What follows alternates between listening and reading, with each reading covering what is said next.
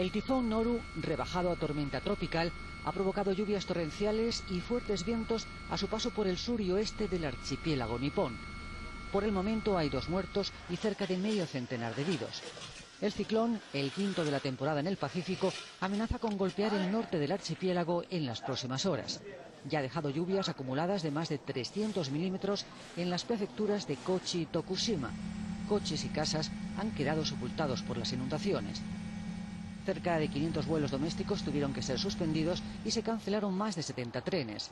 La tormenta más fuerte en lo que va de año ha obligado a las autoridades a mantener la alerta en el oeste y centro de Japón. Más de 100.000 personas han tenido que ser evacuadas y cerca de 10.000 hogares permanecen aún sin suministro eléctrico. Los servicios meteorológicos no descartan que el fuerte temporal se acerque al centro de Japón y se aproxime al área metropolitana de Tokio.